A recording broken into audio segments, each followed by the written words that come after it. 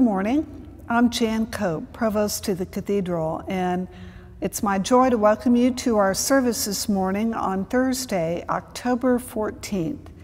It is the feast day of two missionaries to Asia Samuel Isaac Joseph Schereschewsky, scholar, translator, and bishop, and Channing Moore Williams, missionary to Asia.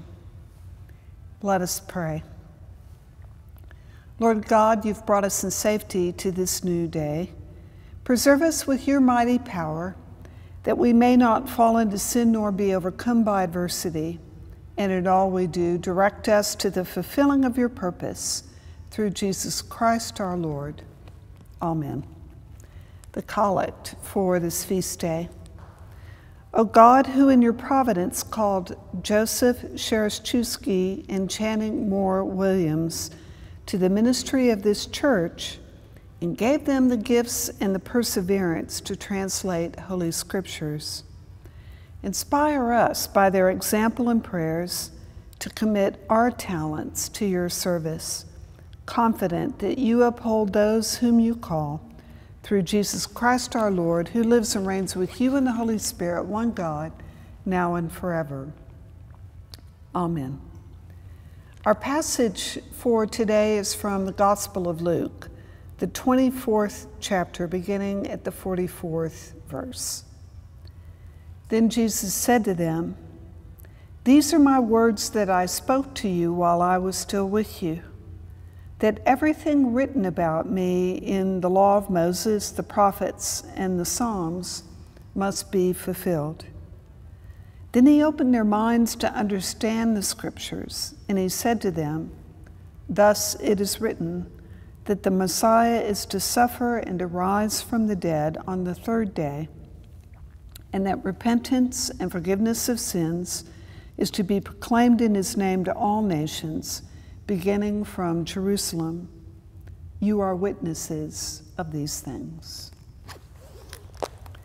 The first man that we remember today, Joseph Schereschewsky, was born in Lithuania. He went to Germany to study to become a rabbi. While there, some Christian missionaries apparently persuaded him to go a different way and he became a Christian. And upon becoming a Christian, he emigrated to America, trained for the priesthood, and was sent to China by the Episcopal Church, where he devoted himself to translating the Bible into Mandarin Chinese.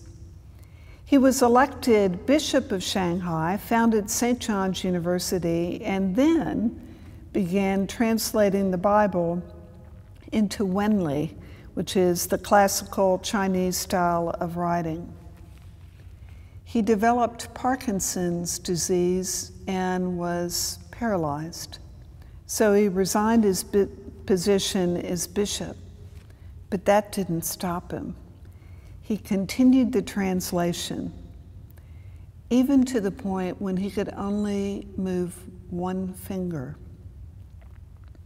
In the last 2,000 pages of its translation, he did with the one working finger that he had.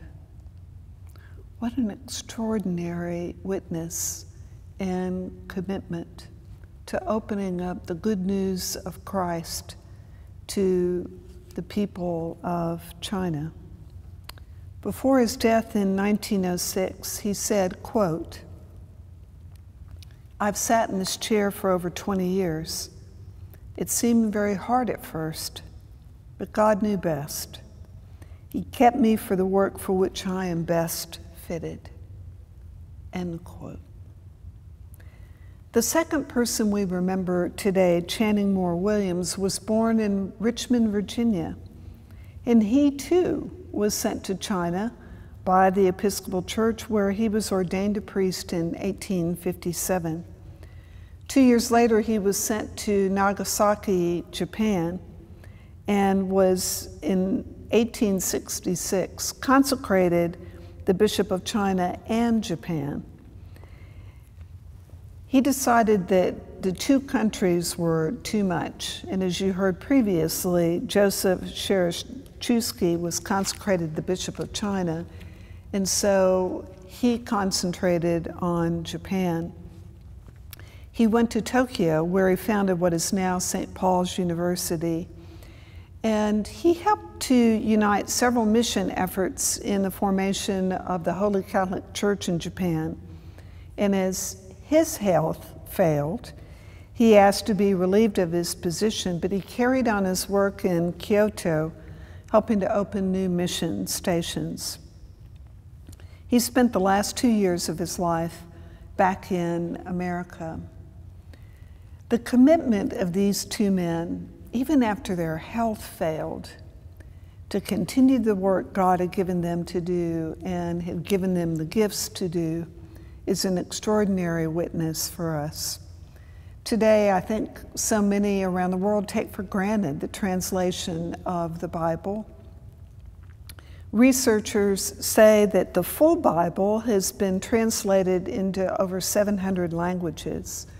When you add to that translations solely of the New Testament or portions of the Bible, the number of languages to which the Bible has been translated exceed 3,400. What an extraordinary achievement. It's fair to say that these two men help open up China to the good news of the resurrected Christ. I've had the privilege of preaching in Hong Kong on three different occasions two times in a service that was in Chinese. And so the experience of having my sermon, which I confess I speak about three words of Chinese, one instance being simultaneously translated into Chinese, and then the other uh, after huge sections, is an extraordinary experience. And it begs the question for me how do people see the Bible translated in the way we live our lives? It's purported that St. Francis said, Preach the gospel at all times, and when necessary, use words.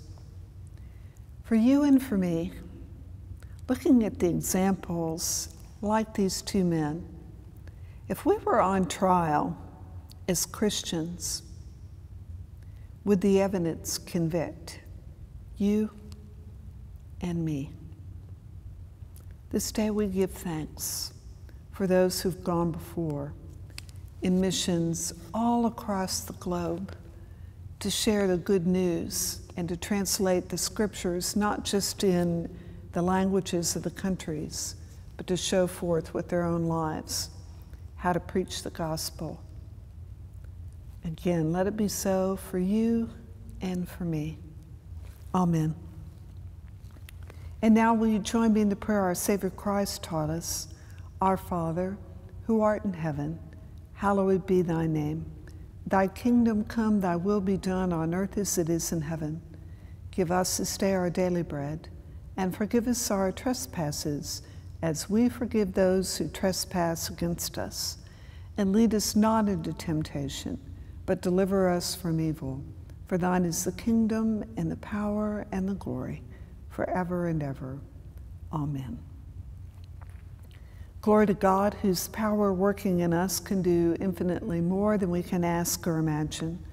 Glory to God from generation to generation in the church and in Christ Jesus forever and ever. Amen. The Lord bless you and keep you. The Lord make his face to shine upon you and be gracious unto you. The Lord lift up his countenance upon you and give you peace this day and always. In the name of the Father, and of the Son, and of the Holy Spirit. Amen.